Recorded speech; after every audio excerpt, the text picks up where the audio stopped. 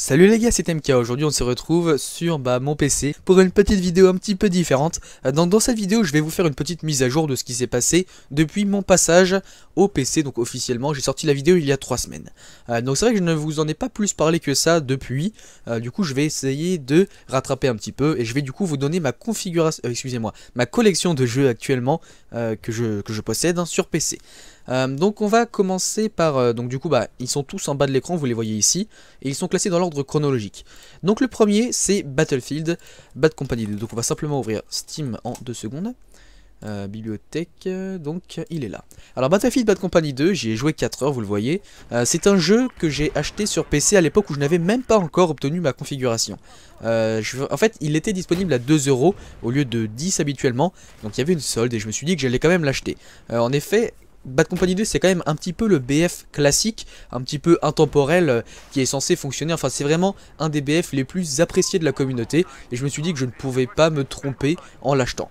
Alors c'est vrai qu'il est quand même pas mal, euh, le petit problème déjà c'est qu'il n'y a plus beaucoup de serveurs, hein. la majorité des gens sont partis. Le jeu est quasiment désert, euh, mais surtout je sais pas pourquoi, mais le système de mouvement et même de tir, enfin voilà, les, armes, surtout le mouvement, eh bien ça paraît un petit peu ancien. On se rend compte que l'engin, euh, excusez-moi, le moteur graphique qui est utilisé, et surtout le, voilà, les, comment dire, euh, le développement du jeu, le, moteur du jeu quoi, et eh bien se sent, se fait un petit peu, un peu ancien maintenant, et du coup c'est pas vraiment super fun à jouer des fois. Donc je me suis dit qu'en fait je l'achèterais pour m'améliorer sur Battlefield, hein. c'était euh, c'était à l'époque où je ne, connaissais même pas encore Battlefield 1, hein. je voulais simplement m'entraîner un petit peu sur PC, et au final je me fais poutrer euh, H24 sur Battlefield Bad Company 2, je veux dire vraiment tous les mecs les plus forts sont restés, donc au final c'est même pas la peine d'y aller, je me fais arracher, et, et d'où le, enfin de plus le système de mouvement qui est un petit peu ancien, bah franchement ne m'intéresse pas plus que ça et j'ai pas vraiment envie de passer du temps sur Bad Company 2. Le deuxième jeu c'est Dirty Bomb. Alors Dirty Bomb. Alors là tout de suite j'ai joué un petit peu plus de temps et Dirty Bomb c'est vraiment un excellent FPS. Donc ce qu'il faut savoir premièrement c'est que c'est un free to play. Euh, donc ce que j'entends par là c'est que le jeu est entièrement gratuit à télécharger et à jouer et on pourrait croire que c'est un pay to win et pourtant non. Alors un pay to win c'est quand vous devez par exemple acheter des objets avec de l'argent réel pour pouvoir être compétitif sur le jeu. Et bien sur Dirty Bomb ce n'est pas du tout ça. Vous pouvez très bien être un très bon joueur euh, en achetant des personnages avec des crédits en jeu que vous obtenez en jouant, bon beaucoup certes mais au moins vous les obtenez en jouant et vous n'avez pas besoin de débourser de l'argent réel. Alors Dirty Bomb j'y ai joué beaucoup avec, euh, avec un ami, donc euh, bah, Axel, ai joué, on y a joué pas mal à deux. Euh, c'est vraiment un très bon jeu, donc c'est du 6 contre 6, euh, voilà. c'est un...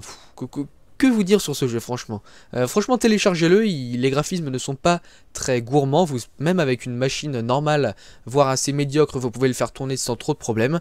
Mais c'est vrai que depuis que j'ai Overwatch, bah, j'y joue moins, mais avant c'était vraiment un de mes jeux préférés sur PC, j'y ai passé pas mal de temps.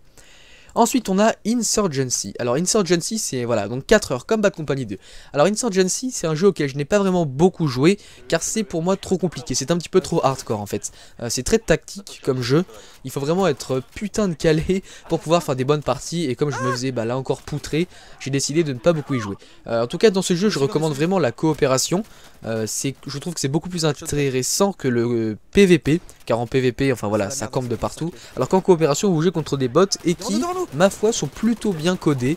Euh, les bots se débrouillent bien, ils font des bonnes actions, ils ne sont pas trop durs à tuer non plus, c'est pour ça que je préfère la coopération. D'ailleurs, un de mes amis IRL se l'a acheté également, donc euh, peut-être que je vais me remettre à y jouer en coopération. Donc Insurgency, voilà, c'est un très bon jeu pour ceux qui aiment les FPS tactiques, c'est encore un cran au-dessus de Rainbow Six Siege.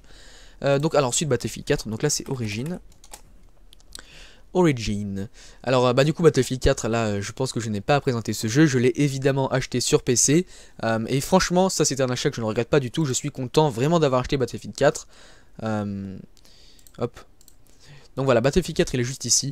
Et du coup, ça c'est vraiment euh, un, de mes meilleurs achats euh, depuis toujours. Alors à la base, je vous le rappelle, j'ai acheté Battlefield 4 car j'étais niveau 140 sur PS4, donc je n'avais plus rien à faire. Et je me suis dit que j'allais recommencer l'aventure sur PC tout en m'entraînant pour la sortie de Battlefield 1. Euh, du coup, bah voilà, j'y ai passé un petit peu de temps, donc 23 heures. Euh, et c'est vraiment bah, un, une toute autre expérience quand même que sur console. Je trouve la souris vraiment fait changer, euh, enfin change quand même énormément de choses. Et c'est très plaisant à jouer sur PC aussi. D'ailleurs les serveurs sont vraiment euh, dans tous les sens. Il y a plein de configurations possibles, plein de serveurs un petit peu non officiels. Donc voilà, ça peut créer des gros micmacs, mais c'est quand même bien sympathique. Donc du coup on peut aussi avoir des meilleurs graphismes, modifier son champ de vision, etc. Donc Battlefield 4 évidemment je l'ai pris sur PC, c'est un must have pour tous ceux qui aiment les FPS. Ensuite on a Blacklight, donc là je crois que c'est sur Steam également. ouais, il est là. Alors Blacklight, bon 60 minutes, en même temps j'ai quand même déjà beaucoup joué sur PS4. ah oui d'ailleurs, alors les exclusivités, donc ça et ça c'est uniquement sur PC. et c'est tout, voilà. Donc ces deux jeux là sont uniquement sur PC. Donc euh, Blacklight. Blacklight c'est également un free-to-play que vous pouvez trouver sur PS4 également, sur le PlayStation Store il est gratuit et sur PC également. Donc je l'ai retéléchargé sur PC, c'est sympa, euh, c'est un FPS un petit peu moderne, un petit peu futuriste euh, même, donc c'est pas trop mal. après entre les deux je pense que je préfère quand même Dirty Bomb, mais si vous, en fait Dirty Bomb est un petit peu plus dans un côté on va dire compétitif e-sport, alors que Blacklight c'est plus, voilà, c'est un petit peu un FPS tranquillou pour passer le temps si vous n'avez pas d'autres bons jeux à côté. Donc voilà, Blacklight Retribution de toute façon j'avais déjà passé pas mal de temps sur PS4, donc je l'avais simplement retéléchargé sur PC pour voir euh, comment ma machine pouvait euh, l'endurer. Et puis c'est pas trop mal, franchement. Non, franchement, il tourne pas mal. Ma carte graphique c'est une GTX 750 Ti et elle fait tourner vraiment pas mal de jeux en très très bonne qualité, donc je suis plutôt satisfait. Donc ça c'était pour Blacklight, il nous reste les deux derniers jeux, donc là je les ai achetés très récemment. Overwatch ça doit faire une semaine, et Tom Clancy's Rainbow Six Siege je l'ai acheté il y a deux jours.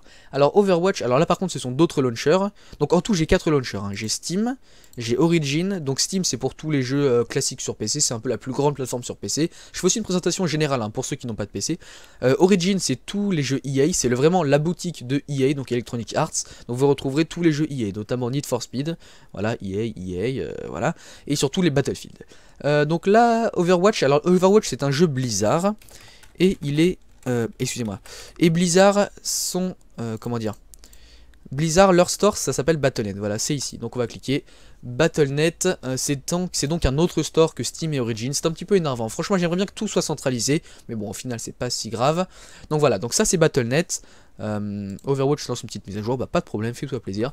Donc Overwatch, là vraiment, ça c'est de la bombe. Franchement ce jeu, euh, je l'ai acheté 40 euros et c'est un excellent achat. franchement, un super jeu. Alors là évidemment j'aurais même pu le prendre sur PS4, par contre j'ai fait l'acquisition quand j'étais déjà passé sur PC. Et donc oui c'est du 6 contre 6 avec plein de héros, personnages très colorés, vraiment un super euh, super jeu mais Euh, il est facile à prendre en main, il est plus compliqué à maîtriser, mais c'est vraiment la grande variété de héros qui fait que j'adore ce jeu. Et en plus, euh, certains de mes amis commencent à le prendre petit à petit, donc ça fait très plaisir. J'ai hâte de pouvoir faire de très bonnes games dessus. D'ailleurs, je vous ai déjà proposé quelques gameplays commentés, c'est vraiment un des jeux sur lesquels je passe le plus de temps en ce moment. Donc Overwatch, très très bon achat. Pour ceux qui n'auraient pas encore franchi le pas, n'hésitez plus, franchement prenez-le, c'est un super jeu. Et on va terminer avec Tom Clancy's Rainbow Six Siege. Donc là, c'est encore un autre launcher, le quatrième et dernier launcher que j'ai, c'est donc Uplay. Uplay, il est là. Donc Uplay cette fois-ci c'est le store de Ubisoft avec notamment le U juste ici, enfin voilà c'est comme ça qu'on reconnaît. Euh, alors euh, donc Rainbow Six Siege, hop mes jeux, il est là. Donc Rainbow Six Siege je l'avais déjà également sur PS4 et je n'ai pas pu résister à le prendre sur PC. Il y avait une starter edition à 15 euros et je me suis dit quand même que pour 15 euros ça serait sympa de reprendre un jeu et étonnamment c'est le jeu sur lequel j'ai perdu le moins de skill. Alors je ne sais pas d'où ça vient, peut-être qu'il a moins d'action, peut-être que c'est plus facile de tuer les gens, peut-être que c'est le, time to kill plus grand, mais en tout cas j'ai vraiment beaucoup, moins de mal à, m'acclimater sur Rainbow Six Siege ou sur BF4. Pour vous donner un exemple, euh, l'autre jour là, enfin la nuit dernière, j'ai fait une très bonne game dessus, j'ai fait du 7-0, euh, je suis arrivé deuxième de mon équipe alors que voilà c'était peut-être ma troisième partie sur PC euh, sur Rainbow Six Siege, donc ça montre quand même que je suis en train de m'améliorer un petit peu dans le contrôle de la souris, c'est vrai que j'ai eu beaucoup de mal à m'acclimater au début, passer de la DualShock 4 au combo souris c'était vraiment une, très, une, épreuve très dure. Et pourtant, une fois qu'on a commencé à prendre en main, on se rend compte que la souris pour les FPS, c'est vraiment une toute autre affaire. C'est quand même beaucoup plus plaisant de pouvoir jouer vraiment avec sa main et non avec son pouce euh, pour le joystick. Voilà. Donc la souris, ça reste quand même vraiment le must pour les FPS. Et c'est pour ça aussi que je me suis dit que je devais passer sur PC à un moment ou à un autre. De toute façon, tout grand fan de FPS devrait à un moment euh, profiter du PC quoi, pour jouer au, FPS, au jeu de tir. Euh, donc voilà, Rainbow Six Siege, c'est vrai que je fais quand même des très bonnes parties dessus, ça fait plaisir. Je pensais avoir perdu plus de skills que ça et pourtant non, ça va. donc du coup, en ce moment, j'utilise des agents Sledge parce qu'en fait, faut pas, des tout, hein, ça il faut être euh, il faut être certain, tous ces jeux là j'ai vraiment tout perdu. Euh, après par exemple Battlefield 4 j'ai perdu toutes les armes, euh, Tom Clancy j'ai perdu tous mes agents, mon niveau etc. J'étais niveau 95 et j'avais tous les agents. Et donc là j'ai Sledge, Termite et Rook. Voilà donc c'est un petit peu les, les, trois agents qui sont quand même pas mal du tout, bien bien polyvalent. Du coup voilà, j'ai repris Rainbow Six Siege et j'espère faire de bonnes games dessus. Euh, bah du coup voilà, c'est tout pour cette petite présentation de mes jeux PC. C'était simplement pour vous mettre au courant de ce qui s'est un petit peu euh, passé. Et du coup bah moi je vous dis quand même à la prochaine pour une nouvelle vidéo. Voilà, c'était simplement... Euh, ah, petit message de Ruskov. Bah il est passé en vidéo, ça lui fera plaisir. Euh, du coup voilà, j'espère que ça vous a plu. Euh, c'était simplement pour vous donner de mes nouvelles sur mon passage sur PC. Et donc voilà, tout va bien en ce moment. Je suis très content de ma transition. Et pour ceux qui demanderaient, euh, à la fois désolé, mais en même temps, je suis content d'annoncer que je ne compte pas revenir sur PS4. Pour l'instant, le PC est vraiment ma plateforme de choix. Et donc je compte rester dessus bah, maintenant pour les jours à venir. Voilà, donc je vous dis à la prochaine pour une nouvelle vidéo. Et puis voilà, donc allez, salut.